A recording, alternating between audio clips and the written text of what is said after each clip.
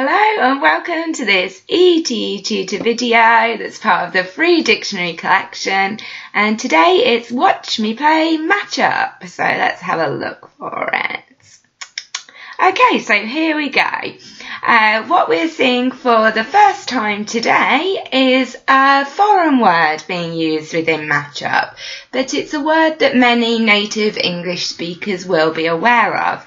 So we have got escargot. Now, I'm not saying that's the most perfect pronunciation, but escargot. So that is actually French for snail. So we've got a little match there. And then we're going to try some of those techniques that we've talked about. So looking for prefixes or looking for words within the words and seeing if we can match that way. So we can see statecraft and statesmanship. So I'm guessing that those two are going to be related and the definitions for those are going to be somebody who is able to effectively communicate um, in a political situation, say. Okay, so from that, we might be interested in going on to scoundrel and villain. So you might hear somebody say, that politician is an absolute scoundrel. It means they're a, they're a bad guy, basically. So I don't know if there's anybody who springs to mind for you there to help you remember that one.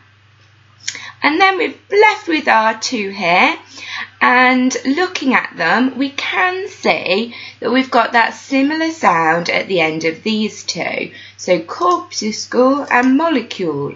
So we can see that those two are likely to be a match leaving us with machination and intrigue. So this one's quite good for storytelling because it's about um, complex complex plotting and making sure that your readers are really engaged. So if you're doing GCSEs, that's going to be something that you'll want to pay attention to as well. Okay, let's have a little look how we've got on.